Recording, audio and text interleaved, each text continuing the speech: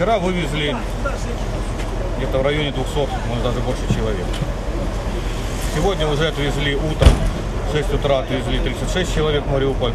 И сейчас подали два автобуса, сказали будет 77 человек.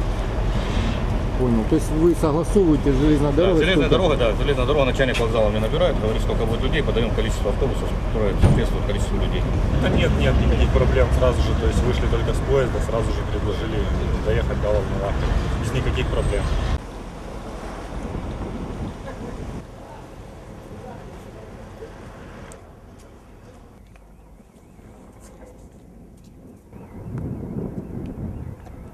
Слово.